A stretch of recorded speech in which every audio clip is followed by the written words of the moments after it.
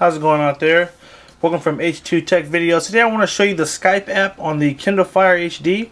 Um, in case you didn't know, uh, Skype is available on here and you can use the camera to make video calls. You can make uh, audio calls. Um, this is probably the way to make calls from your Kindle Fire HD. So a lot of people on Skype. It's free. All you need is an internet connection. Let me show you how it works, okay? Let's go ahead and go to Skype. First thing I'll ask you to do is sign in. Uh, my information is already stored in there, so it just signs me right in.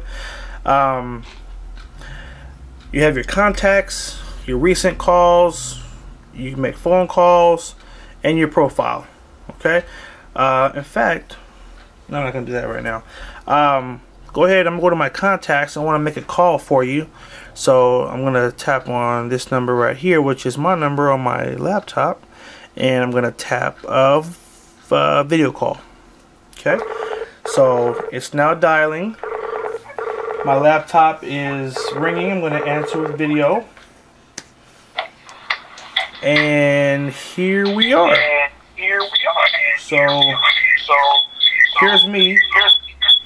Sorry about the audio. My laptop is right here. And me have my finger here. So You'll be in this screen right here. Back if I tilt it a little bit. If I tilt it, you can't see me. So um, here's me in the camera, and there's my laptop right there.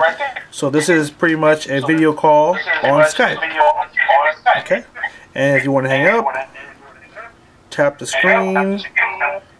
You can do like send little instant messages. We can cut the video, or we can just end the call like that, and then go back. And now we're back to Skype. So this is really cool. Um, again, Skype, most of it is free.